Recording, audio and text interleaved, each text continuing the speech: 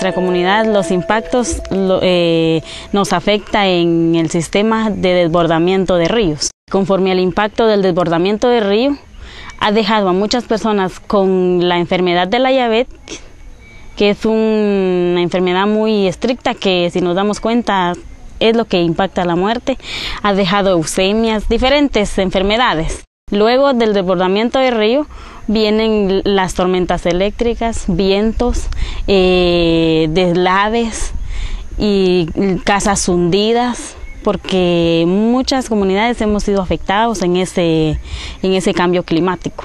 Ahora bien, estamos también en el mismo departamento en donde afectó en el estado de Nahualá, en donde el puente se fue de una vez, quedando incomunicados. En la seguridad, ahorita por ejemplo, estamos en el mismo sitio donde el río ha pasado.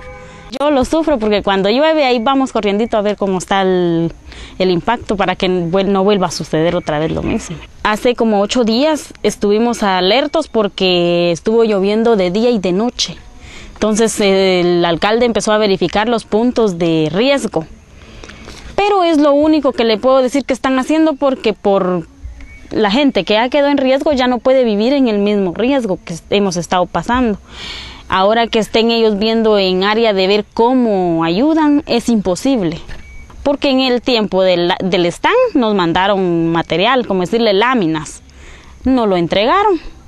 Ahí no lo entregaron. Se lo agarró el alcalde para su parcela y ahí que Dios los ayude a los demás. El gobierno mandó dinero para comprar una, unas tierras. Pero según ahorita estamos ah, oyendo de que esas tierras han sido politarizadas que todavía hay gran parte de terreno para la gente damnificada, pero no lo quieren entregar. Se necesita ya, es como decirle el tema de la reforma agraria. Yo no voy a decir que me den tan siquiera una gran manzana, pero por lo menos que me den un pedazo para donde estar viviendo con mi familia sin aquello de que nos va a llevar el río o nos vamos a desbordar, todo eso va. El gobierno no atiende las demandas del campesino y eso es lo que queremos que se haga.